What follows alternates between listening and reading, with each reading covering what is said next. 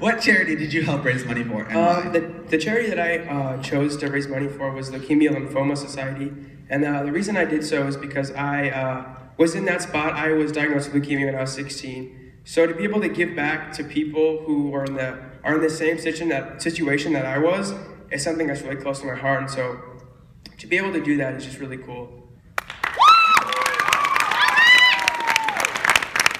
All right, Steven, what are your plans after high school?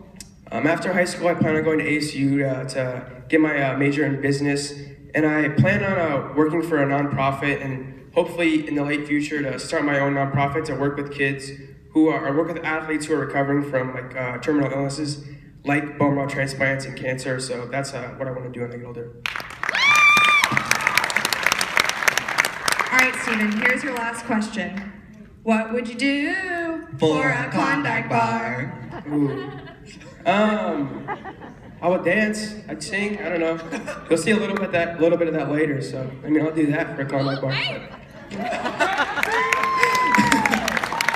right, well, that concludes our question round. Thank you, contestants.